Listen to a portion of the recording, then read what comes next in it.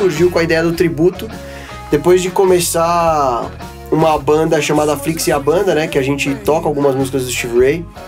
E esse projeto começou a nascer, porque algumas pessoas começaram a falar, pô, que legal.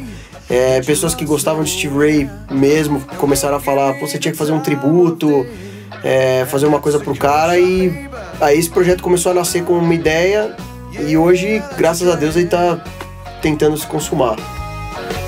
That's a coach sugar.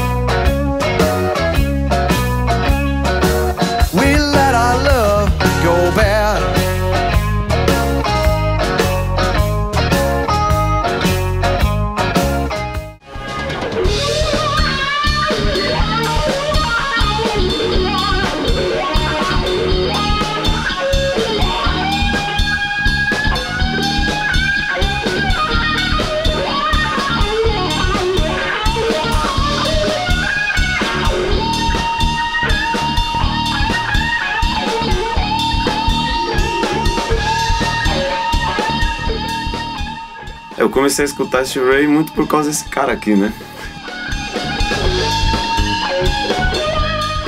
E na verdade conheci o blues por causa dele, assim também, te conhece faz muito tempo. É uma coisa meio que unânime, você vê muitas entrevistas, até B.B. King falando, Eric Clapton, mas a gente aqui também falando. É uma, uma energia que flui, a gente fazendo o papel do Double Trouble também, porque o Steve Ray teve muito. É, aquela fluidez precisa de uma bela cozinha ali. É um desafio bom pra gente também, porque os dois ali segura e pra gente, pra mim é um prazer também.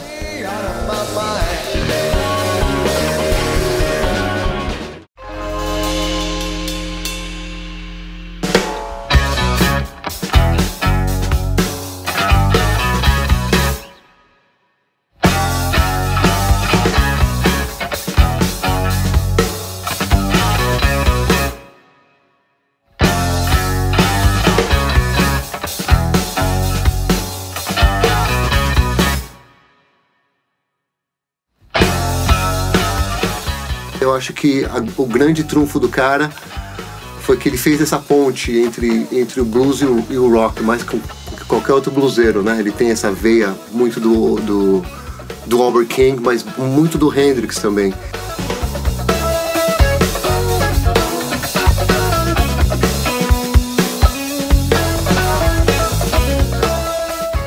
Toco guitarra desde os 10 anos de idade. Eu comecei, na verdade, roubando o violão do meu pai cada vez que ele ia tomar banho.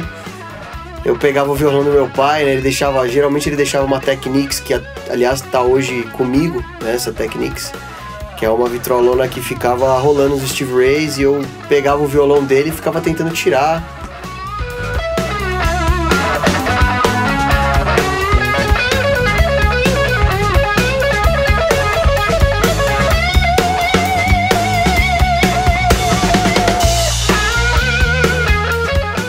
Se eu tivesse que definir esse Steve Ray em uma palavra, acho que seria feeling.